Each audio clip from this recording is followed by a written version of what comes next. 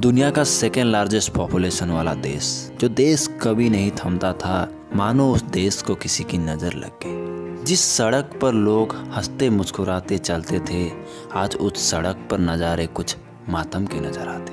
आज हम ज़िंदा है, पर मरे हुए हैं। घर के चार दीवारी के अंदर सहमे हुए हैं। अब बस इंतज़ार है तो महामारी के लौट जाने का। अब बस इंतज़ार है आज़ादी को फिर से पाने का। धन्य है वो लोग और हम उनके शुक्रगुजार हैं, जो ऐसी आपातकालीन परिस्थितियों में भी देश के साथ है। आइए हम इस वीडियो के माध्यम से उन्हें धन्यवाद देते हैं, जो लड़ रहे हैं ऐसे महामारी के खिलाफ है।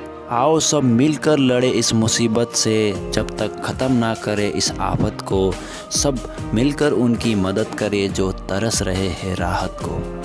हे करुणा तो कब तक हमें रुलाएगा? आज तेरा वक्त है, वक्त हमारा भी आएगा। डरे नहीं, सावधान रहे, ये और कुछ दिनों की ही बात है।